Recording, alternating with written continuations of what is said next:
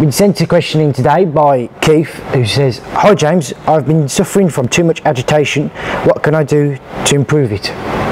Right Keith, there's a few different solutions that we can do. Let's go through them.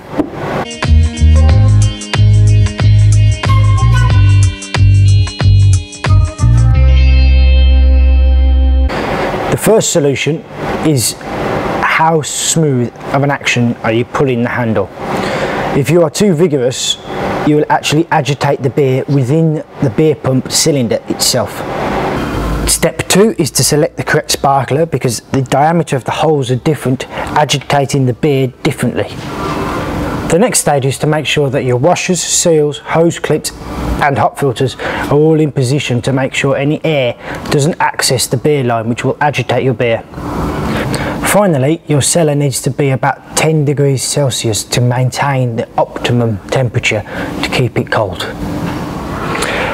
Right Keith, that concludes all the possible solutions to your over agitation problem. If it doesn't help, come back to us and thanks for getting in touch. If you like what's going on here, like the videos, subscribe to the channel and check out our other social media activity.